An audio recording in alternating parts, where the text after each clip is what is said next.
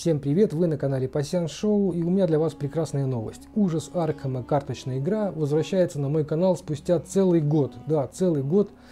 Этой замечательной игры не было у меня на канале, и я уже изрядно соскучился по ней, надеюсь, и вы тоже. И вот, наконец-то, возобновляю я видео, не буду ничего сейчас обещать. Все, что вышло на русском языке по этой игре у меня есть в наличии. Надеюсь, что и сил, силы, возможности и время все это пройти дальше у меня будут, останутся. Сегодня будем играть в отдельно стоящее дополнение, которое называется Стражи Бездны. Я в эту игру несколько раз поиграл. Должен сказать, что мне эта игра показалась, это дополнение показалось очень сложным. Может быть, я немножко потерял хватку.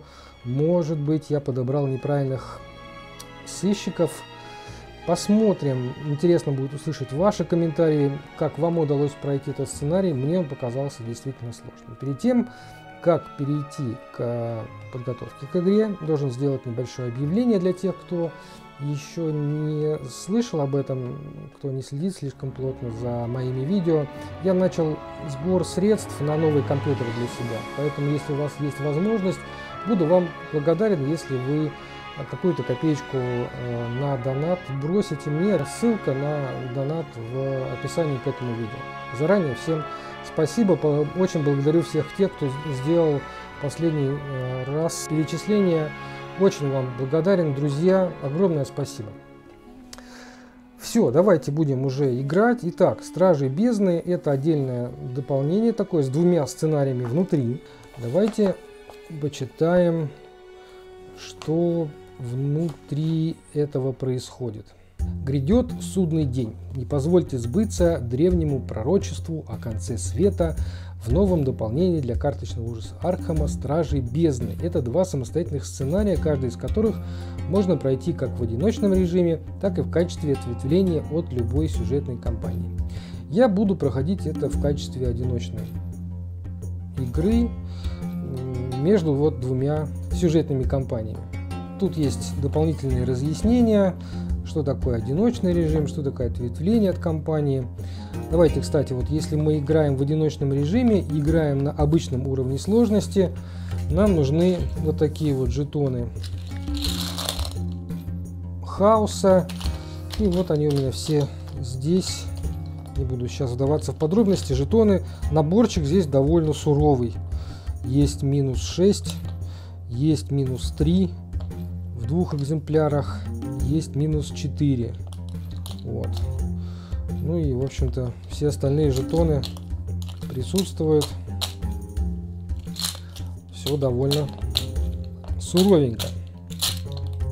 Есть пояснение, что такое разведка, потому что здесь мы будем разведку осуществлять. И здесь есть такое понятие новое – сила бездны. На памятках сценариев из этого дополнения есть особая область сила бездны. Жетон ресурсов в этой области обозначает текущую силу бездны. Ну и все очень просто. Если много жетонов, это плохо. Значит, сила бездны большая, и она влияет там на, на игру.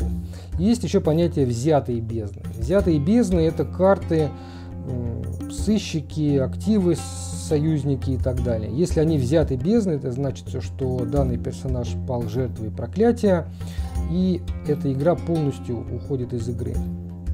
При этом увеличивается сила бездны на 1. Будем стараться этого избегать, потому что карты, которые взяты бездны, они не могут участвовать в следующем сценарии, а начинать мы будем со сценария, который называется «Беспробудный сон». Давайте почитаем, что нам пишут, а пишут нам письмо. Здравствуйте, прошу прощения, знаю, что уже давно не давала о себе знать. Пишу вам, потому что здесь, в Каире, я никому не могу доверять. Не уверена даже, дойдет ли до вас это письмо. Ради всех нас надеюсь, что дойдет. В этом городе что-то неладное. Это началось несколько недель назад. Куратор египетского музея уснул и не проснулся.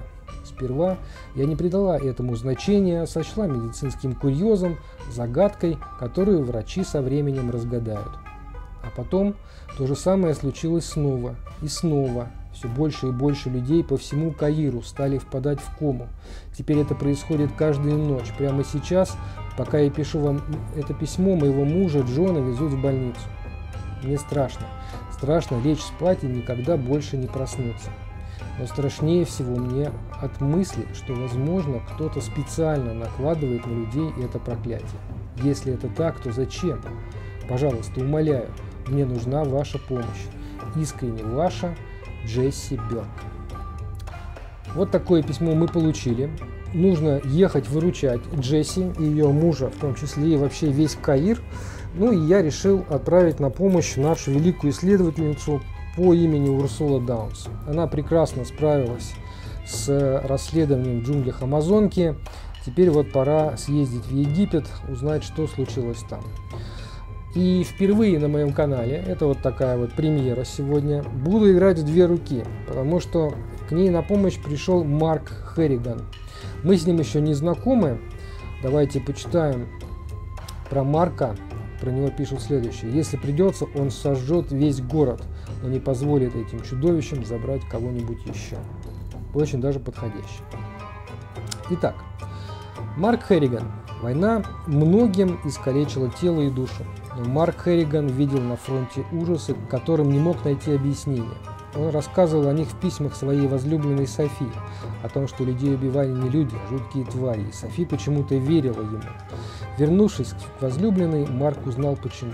Одно из таких существ жило внутри Софи, пожирая девушку изнутри. В беспомощном ужасе он смотрел, как она с воплем растворилась в воздухе, когда тварь закончила трапезу. Теперь все считают Марка Херригана безумцем. Возможно, он и правда сошел с ума, но он знает, что монстры существуют и не успокоится, пока не истребит их всех.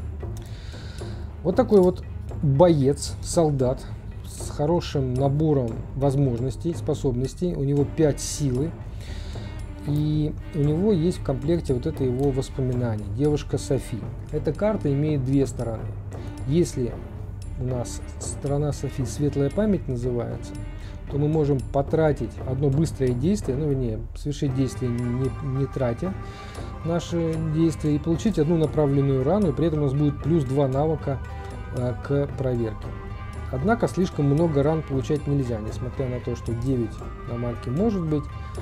Если мы получим больше 5 ран, э, то мы должны будем перевернуть эту карточку, и тогда эта карточка будет мешать марку, она называется «Это я во всем виноват», и у нас будет минус один каждому навыку. Она будет сохраняться на этой стороне, пока у нас будет 5 ран или больше. Иначе мы сможем перевернуть ее обратно. У Марка есть способность. Когда Марк получает рану, то он может взять карту один раз в фазу.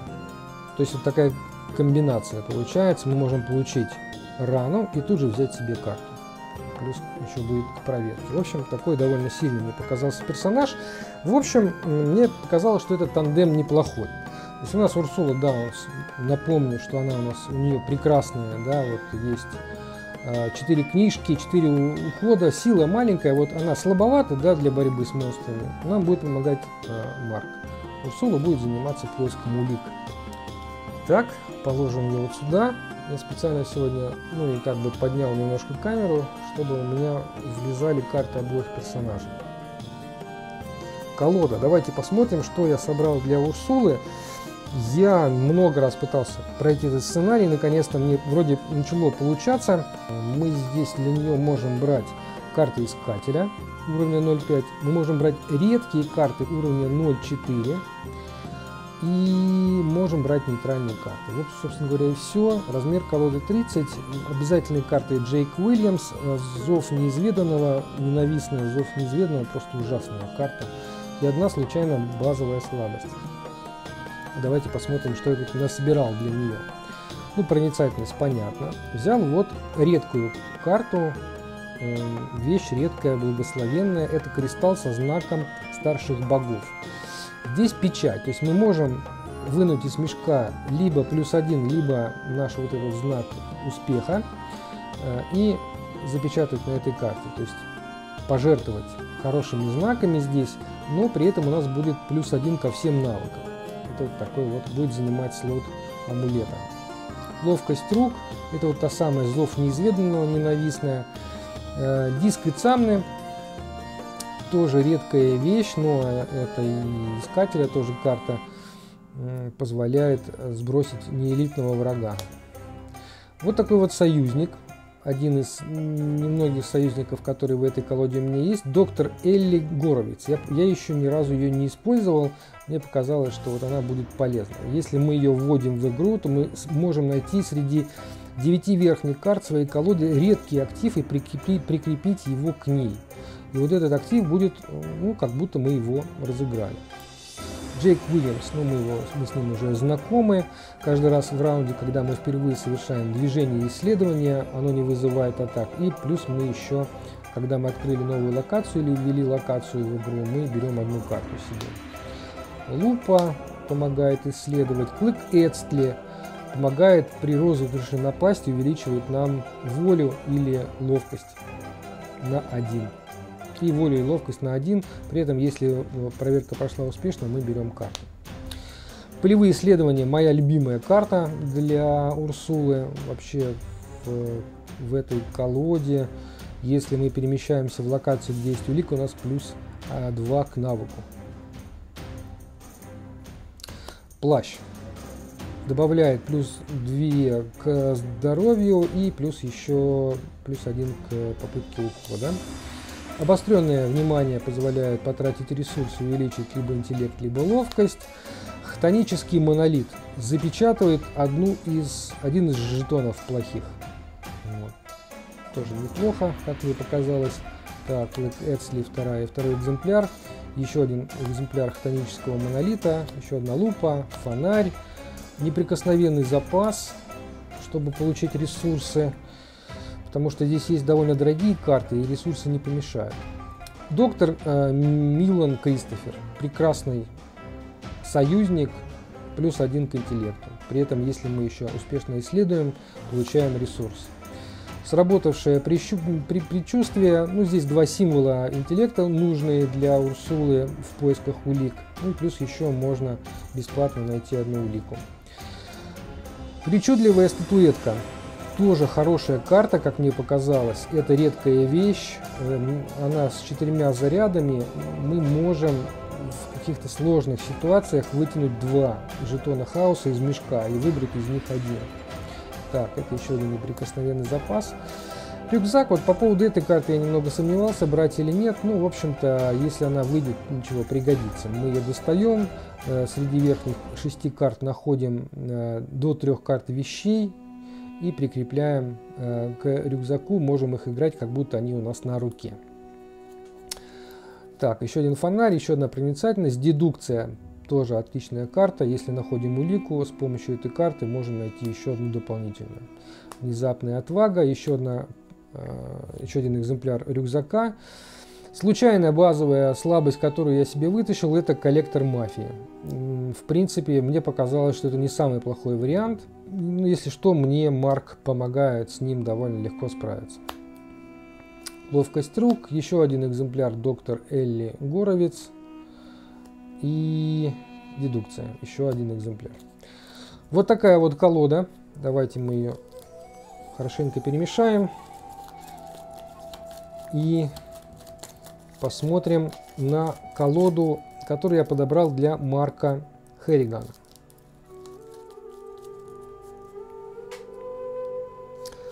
Так, ему тоже положено 30 карт. В основном это карты хранителя, нейтральные карты и карты тактики уровня 0. Ну, вот я не помню, чтобы я там какие-то тактики себе подбирал. Тут все довольно прямолинейно, нас заточено под максимальное нанесение урона для врага.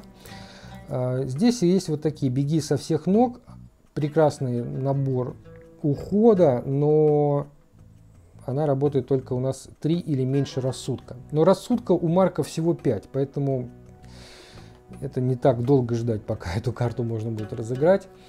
Такая вот базовая слабость мне попалась. Психоз ну, в общем-то, иногда доставляет неудобства, потому что, когда вы получили хотя бы один ужас, получить одну направленную рану. Ну, от нее избавиться двумя действиями не так сложно. Вот такая вот карта, которая называется «Я разберусь с этим», позволяет то, что достается Урсуле, взять на себя, когда мы открываем карту контактов. И при этом будет плюс 2 к навыку для Марка. Иногда помогает, срабатывает. Так, карта доказательства.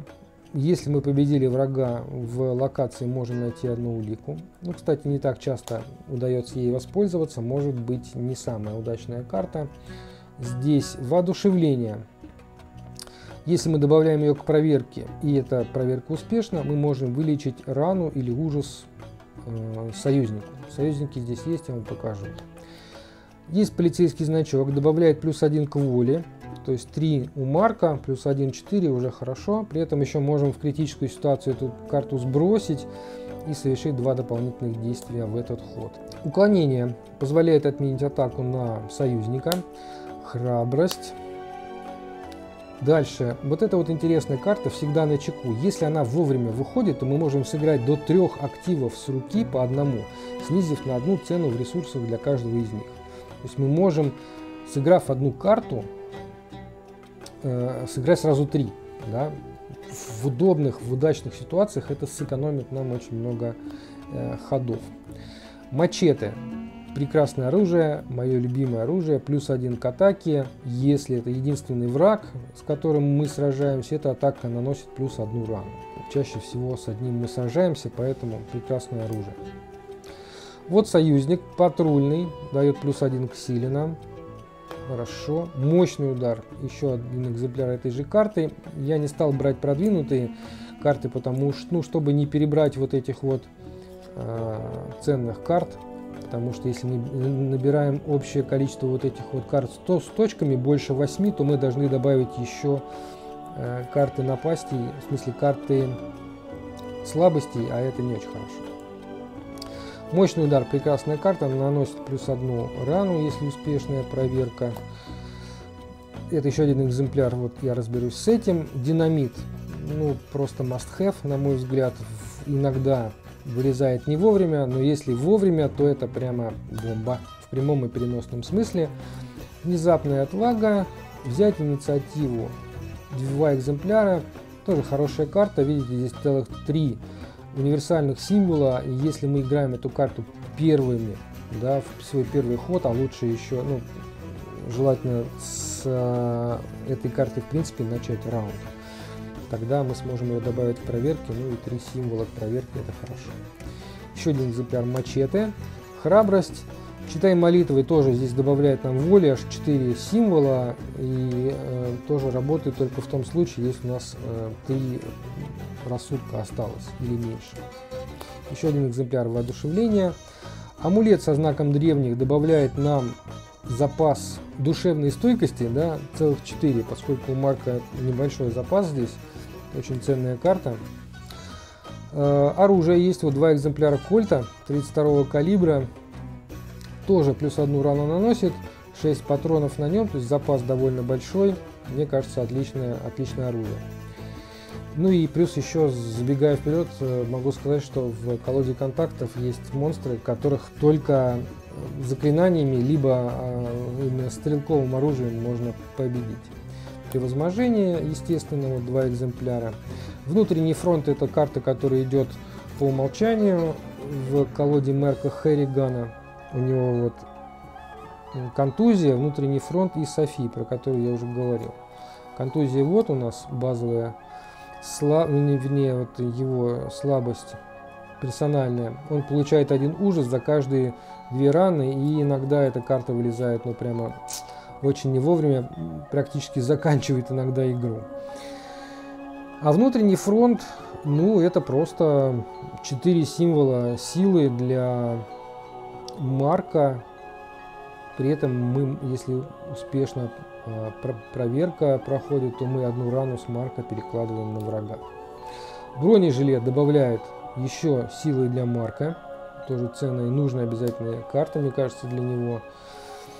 Еще один неприкосновенный запас. Э, читаем молитвы. А, ну вот, одна тактика, одну карту тактики я добавил. Называется западня. Во-первых, здесь два символа ухода есть, что по себе уже неплохо. Плюс, если у нас есть задействованный враг в локации, то мы можем пройти проверку ухода у этого врага. И если мы успешно ее проходим, то мы этого врага побеждаем. Можно за один ход победить какого-нибудь не очень сильного, но надоедливого врага в локации.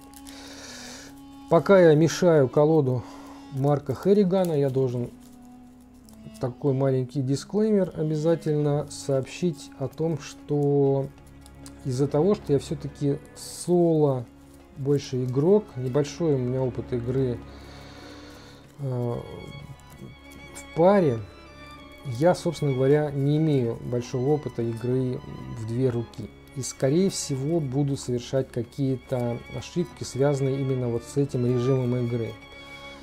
Я, естественно, как мог там подготовился, что-то где-то посмотрел, что-то где-то почитал, сверился с правилами, но в силу своей какой-то природной рассеянности могу кое-какие вещи упускать. Поэтому, пожалуйста, для тех, кто смотрит это видео, обращайте внимание на комментарии.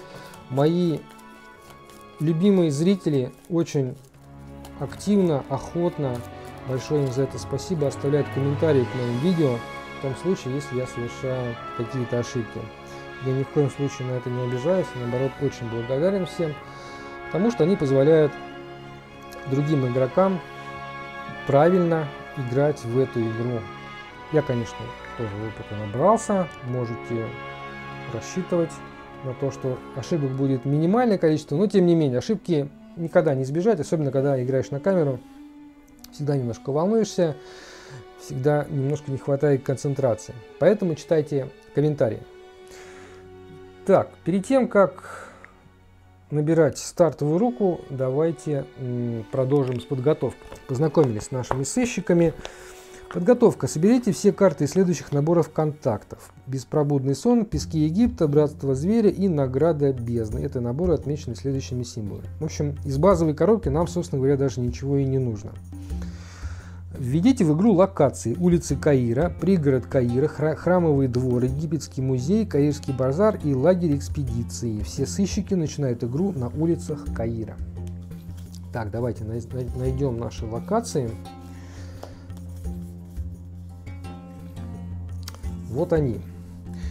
Мы начинаем все на улицах Каира. И эта локация у нас открыта сразу. Поэтому сюда мы выкладываем 4 улики. По 2 улики на сыщика.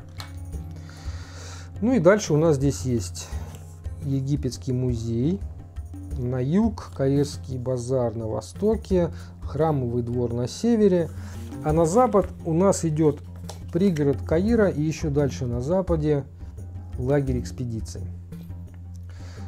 Эти локации пока нам закрыты. Мы начинаем все на улицах Каира. Здесь мы можем поискать улики, но если за один ход мы нашли две улики или больше, мы получаем ужас. Поэтому в этой локации будем искать улики осторожно. Я, конечно, не очень хорошо подготовился, мне нужно было какие-нибудь жетоны придумать, но я буду пользоваться вот стандартными карточками персонажей. Урсула, Марк, они у нас начинают на улицах Каира. Я с вашего разрешения не буду заморачиваться с переворачиванием карт, я буду следить за тем, сколько действий я сделал. Да, кстати, здесь еще мы можем совершить действия на улицах Каира, если их нет улик, то мы можем пройти проверку 4 ловкости и при успехе запомнить, что мы нашли дверь с кровавой меткой. Зачем нам все это нужно, вы поймете по ходу сценария. Давайте продолжим дальше. Отложите в сторону следующие карты. Ну, я не буду тут все зачитывать. Тут у нас две два экземпляра, пришедших из бездны, это монстры, которые появляются потом. Пара таких вот активов, которые к нам в колоду попадут в благоприятных условиях. Карта Нейт, не буду сейчас загадывать вперед, и несколько карт локаций, которые откроются в процессе игры. Это мы пока откладываем в сторону. Дальше. Перемешайте 6 карт врагов братства. Доктор, Лейла, Аль-Масри, доктор и так далее. Я не буду всех их зачитывать. И положите их под памятку сценария. Эти карты двусторонние с картой сюжета на обороте. Чтобы игра была интереснее, не смотрите об, а, обратную сторону этих карт, пока не получите указание сделать это. В общем, да, вот все эти карты. Контакт, различные люди, персонажи. Мы их вот так вот перемешиваем и кладем. Я специально перевернул обратной стороной, потому что ну, мелкий текст я, не, конечно, не могу так быстро прочитать, какая именно карта там оказалась сверху или снизу. Прячу все эти карты под э, памятку нашего сценария, который называется «Беспробудный сон», и кладем вот сюда. Здесь вот есть как раз та самая зона силы бездны, и мы по одному жетону на э, сыщика сюда выкладываем. То есть мы начинаем с силы бездны равной 2. Ну и в общем-то все. Сложите в колоду контактов все оставшиеся карты контактов и перемешайте. Вот все оставшиеся карты контактов. Колода суровая, достаточно, не так много. Вообще, на самом деле, сценарий достаточно интересный. Мне понравился. Либо я, конечно, там вошел во вкус со, со временем, но в целом мне показалось, что и сценарий интересный, и сами карты, и то, что сценарий безумно сложный, мне тоже все это понравилось. Получаешь такое э, удовольствие от того, что тебе наконец-то удалось победить. Мне удалось это сделать пару раз, и поэтому я наконец-то решился сделать видео. Честно говоря, я не понимаю, как вообще сходу можно пройти такой сценарий. По-моему, это просто невероятно или какое-то невероятное везение. Надеюсь, что мне сегодня повезет. Итак, вот наши колоды контактов. Осталось только под, подготовить карты сцены и замысла.